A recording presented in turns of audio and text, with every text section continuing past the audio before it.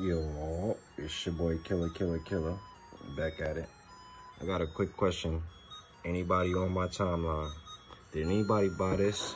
This uh memory storage offline iOS.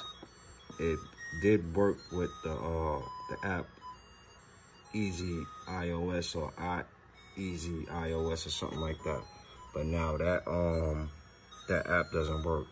Anybody that has this uh, please let me know if you're able to use it now and what app are you using to get your stuff out of it. Because i had like an idiot loaded up all my stuff on here and now i can't get it off because that app doesn't work.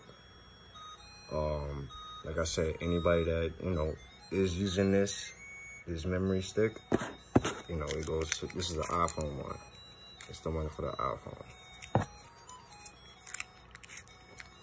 Know what I'm saying? Anybody that, um, like I said, has this stick and knows an app or something or how I could get my pictures off, be greatly appreciated. It's your boy Killa Killa Killa.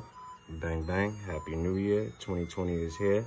New things, better things, smaller circles, keeping it realer, minding our own business at the same time. Who with it? Oh, but please get back at me about this. Thank you much. Peace.